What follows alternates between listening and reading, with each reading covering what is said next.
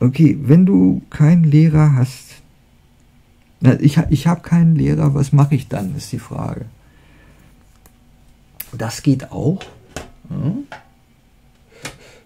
Da kannst du zum Beispiel so einen Fernlehrer wie mich hier nehmen, aber guck dann eben, das ist nämlich die Lösung, dann musst du mehr lesen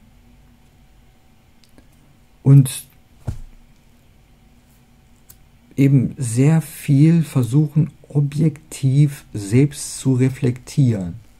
Und das Beste ist eben auf diesem Wege das Rain-Prinzip, ne, findest du auch in der Playlist. Ich kann das dann nachher verlinken. Ne.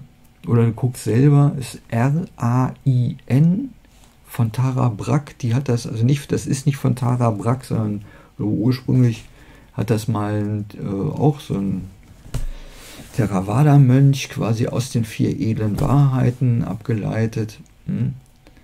Ist aber ein ziemlich gutes Prinzip, um relativ objektiv mit seinen Selbsterfahrungen umzugehen.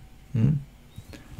Also einmal das als Prinzip anzuwenden und bereit zu sein, immer mehr über seine eigenen Erfahrungen zu lernen und dummerweise sich eben nicht von solchen Vorstellungsgeschichten treiben zu lassen. Ja, also immer, immer häufiger mitzukriegen, wow, das ist hier jetzt eine Geschichte, der ich folge, hier sind vielleicht sogar bildliche Vorstellungen, denen ich folge. Darüber sich immer klarer zu werden, insbesondere beim stillen Sitzen. Ja. Lernen.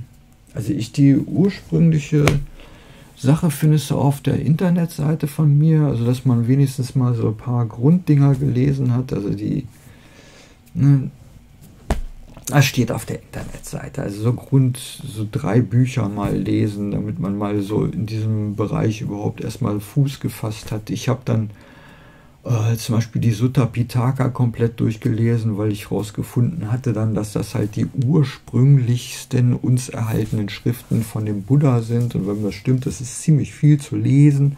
Auch manchmal stellenweise extrem langweilig, weil das alles dreimal wiederholt wird und so. Aber das führt dann dazu, dass man dem was der wohl gemeint hat, ziemlich nahe kommt.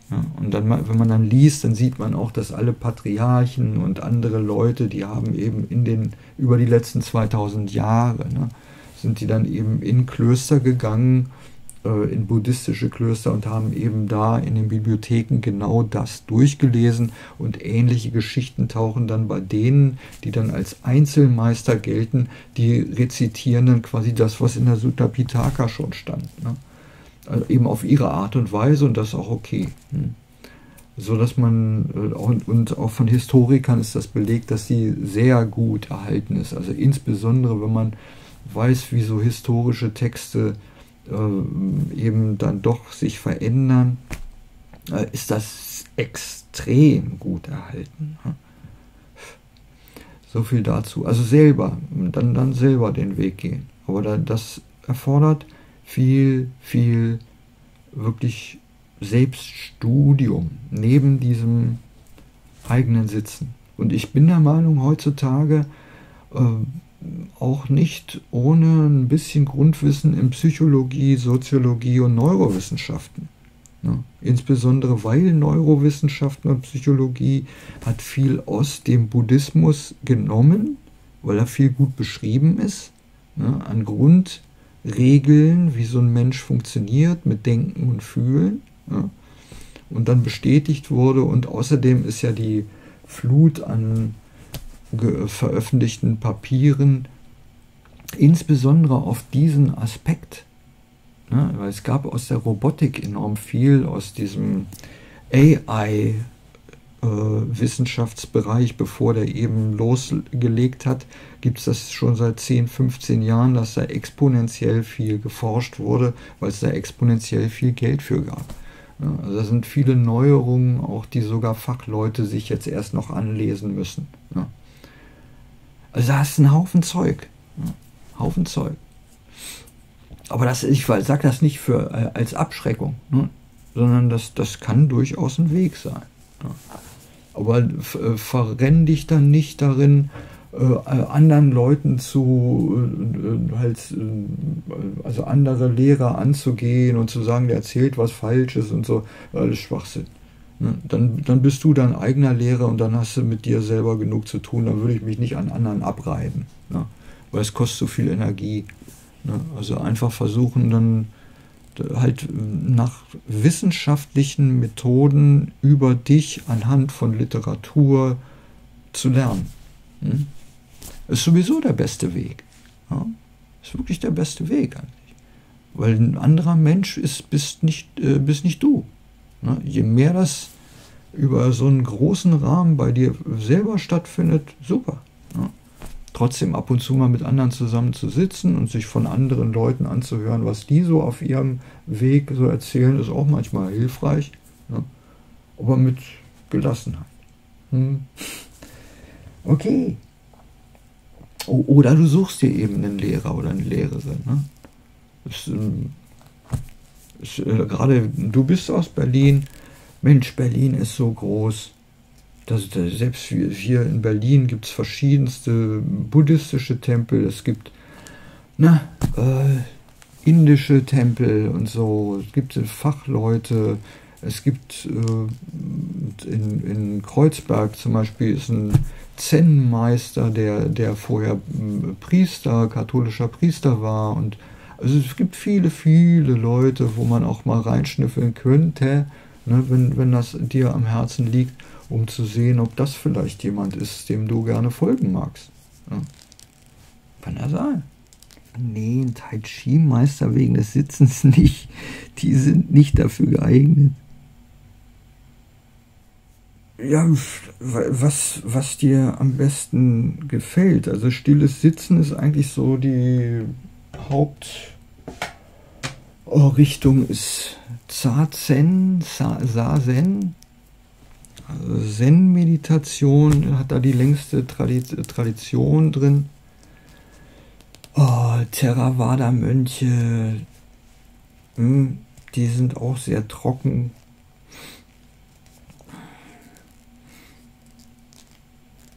aber in erster Linie halt alle Traditionen, die halt oh, stilles Sitzen praktizieren. Hm?